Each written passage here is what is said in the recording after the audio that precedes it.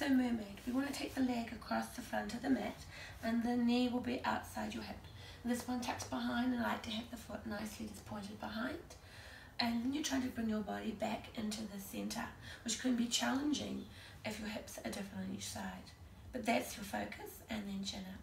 Hands in line with your hips and exhale, come across.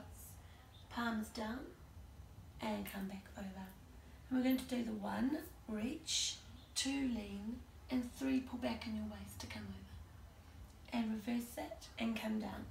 So we go one, lean, two, three, pull back into your waistline, but don't put your hip, your elbow down, and come back over. And then we just speed that up. We just go lift, lean, and reach. Lift and come down.